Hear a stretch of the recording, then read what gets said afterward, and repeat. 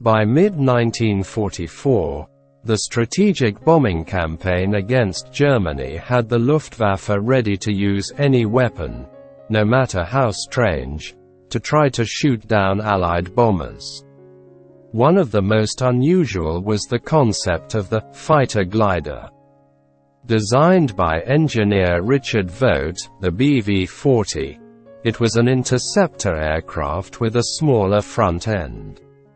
To do this, he eliminated the engine, positioned the pilot at the front and made him lie down.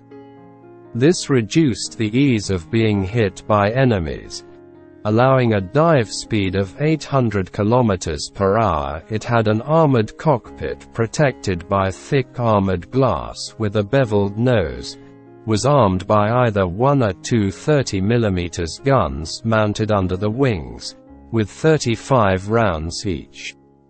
Like other small experimental German aircraft, the undercarriage was released after takeoff and landing was on retractable skids. 5.7 meters long and weighed only 950 kilograms armed the fuselage and wing were almost entirely made of wood and non-strategic material and could be quickly fabricated. It was planned that a squadron of BV-40s would be towed at high altitude by Messerschmitt Me-109s and released several thousand feet above a group of incoming enemy bombers.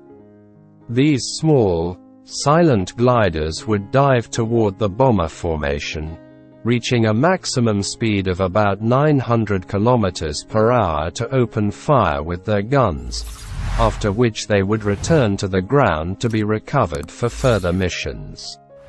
Each Messerschmitt Me-109 would tow a pair of BV-40s to high altitude, and the initial attack phase would be carried out at a 20-degree angle. The pilot would be able to make one or two passes before returning to the ground. Despite the success of the first flight, which took place on May 6, 1944. A month before the Normandy landings, the project was cancelled. The turbojet interceptor design was preferred. Only six prototypes were produced. The BV-40 represented an innovative solution.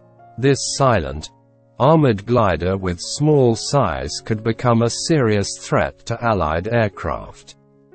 But it is just one of Blohm and Voss many incredible aircraft. Keep following us.